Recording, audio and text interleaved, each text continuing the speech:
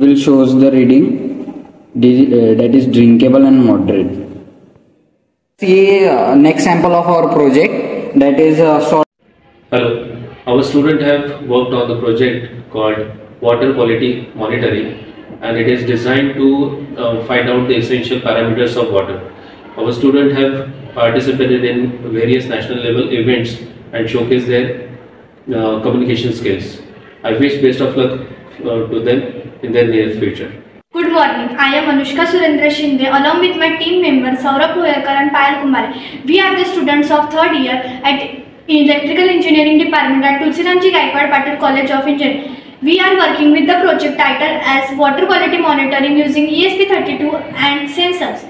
We are we have done this project under the guidance of, of Professor Kunal Sabalake sir. And let's see the objectives of our project. First, to measure and to measure the essential parameters of water such as pH, turbidity, TDS. To use the ESP32 microcontroller for the data for the Wi-Fi module. To use the data sensor for the historical analysis. Now let's see the introduction. As based on the research and uh, data, we have found that 23 lakhs of people died due to pollution and among them 14 lakhs were due to uh, water pollution. And, every year uh, there is a financial loss of 55 crore to 73 crore. As this is due to unsafe drinking water and poor sanitation poor sanitation. As this problem is relevant in rural, rural areas Now I will tell you about the component which are used in our project. First we uses two sensors that are turbidity and TDS. Second we use their modules as uh, it is connected to ESP32 sensor and then ESP32 connected to liquid crystal display that displays the TDS and turbidity real time and this will help us to identify the mo- monitoring and uh, water quality let us see working of our project we have three types of water clear uh, salt dissolved and muddy. I will show you the readings by dipping these sensors.